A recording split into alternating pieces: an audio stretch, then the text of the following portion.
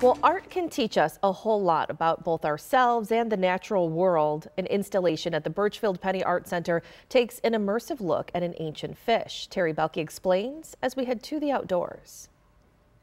The natural world has been an inspiration to artists for centuries, and the muse of nature still drives artists to create.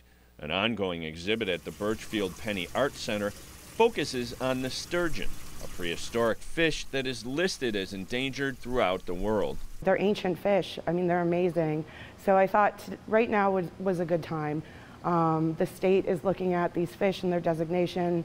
The federal government is as well. The installation aims to drive awareness through a variety of mediums, including video feeds from their habitat in the Niagara River to an aquarium with live sturgeon, which have recently been released into the river. There's a ton of documentation of wild spawning populations um, and, and, study and field research that's gone on over the last decade. Um, there's prints, uh, there's sculptures, there's, there's curiosity cabinets um, where you'll find all sorts of interesting things like ancient coins, uh, trilobites and ammonites, things that represent uh, the mass extinctions that they've survived. The sturgeon is considered the most endangered group of species on Earth. Pollution and habitat degradation are contributing causes, but the main cause of their decline is overfishing. Sturgeon are prized for their eggs, which are made into caviar, a rare and very costly delicacy. Because they're taken during their spawning period, the damage done has been devastating. Because they don't spawn like normal fish, they're not one, two, three years old when they start spawning.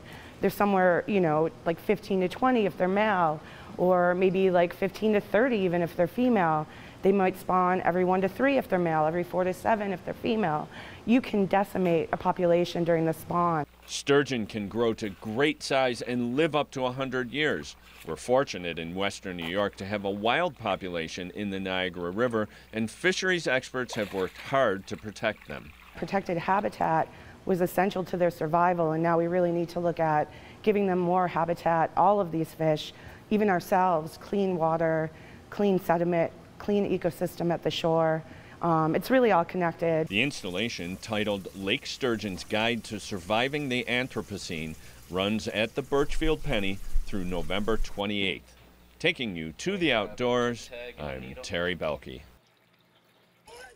And from sturgeon to tuna, check this out. Fishermen in New York and off the coast of New Jersey, they didn't have to go very far to catch some massive tuna. Richard Colombo with Rockfish Charters says that tuna that size usually caught 100 miles or more off the coast. This guy, though, just off of shore. Fishermen say they haven't seen many over the last three weeks, but they're hoping that they will return next season. Quite a fishtail there. All right, coming up next.